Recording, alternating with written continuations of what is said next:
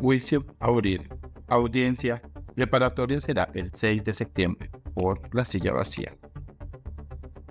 El juzgado 44 del circuito de Bogotá negó la solicitud de aplazamiento que presentó el ex senador y expresidente Álvaro Uribe Vélez a la audiencia preparatoria del próximo 6 de septiembre.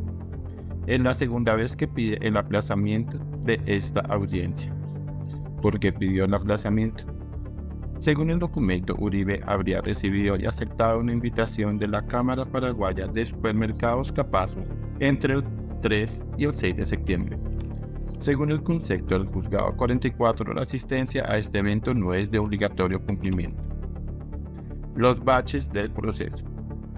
Hace menos de 10 días, el Tribunal Superior de Bogotá rechazó la solicitud de declarar la nulidad del proceso en contra del expresidente Álvaro Uribe por los presuntos delitos de soborno, soborno testigos y fraude procesal.